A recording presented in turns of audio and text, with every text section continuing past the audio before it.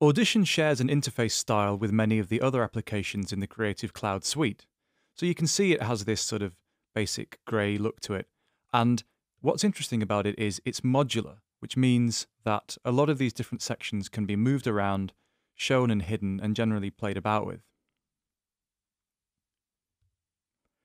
This makes it very easy to customize Audition to work in a way that suits you for the particular task that you're doing. And if you look up at the top here, you can see that there are various different ways to manage your windows. So I can flip into Edit Audio to Video mode. If I was doing radio production, I might want a different set of windows and sections open.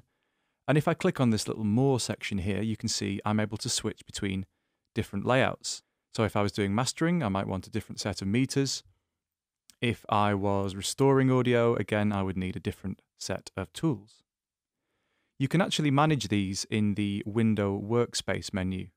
So you can create your own custom ones, save them, revert them, and move between them.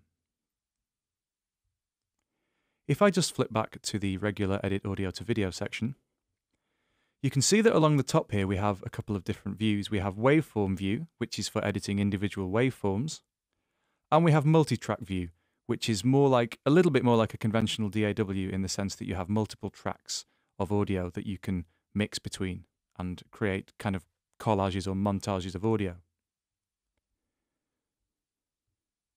Within the waveform view, this here at the top is the regular waveform. Underneath is a spectral view, which we will talk about later. You can flip between different kinds of views. So this one here is the spectral frequency display. And this is the spectral pitch display. Down at the bottom here, you have level meters. An orphan crop, one that has received very little attention from the international research.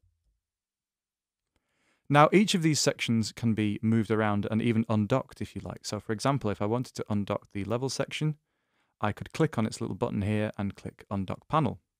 I'm now free to move that wherever I like. Community.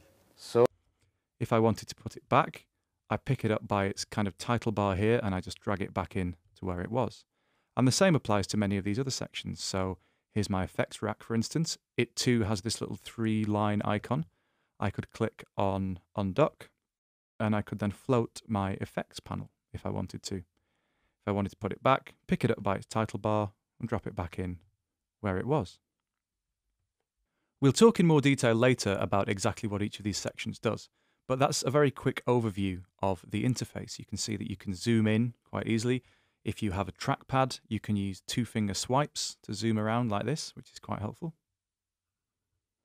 Up at the top here, you have a toolbar. The tools we'll talk about later, but you have things like time selection, marquee selection, lasso, paintbrush, and so forth, and you can change the dimensions of those tools as well. Let's have a quick look now at setting the preferences.